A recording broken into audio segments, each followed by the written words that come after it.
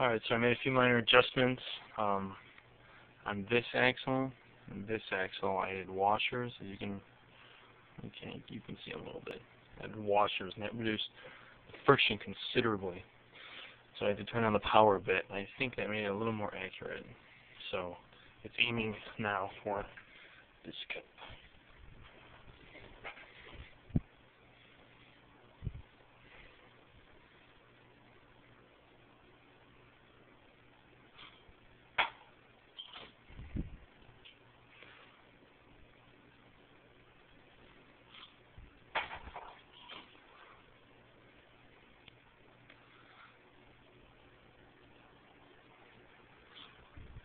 Damn.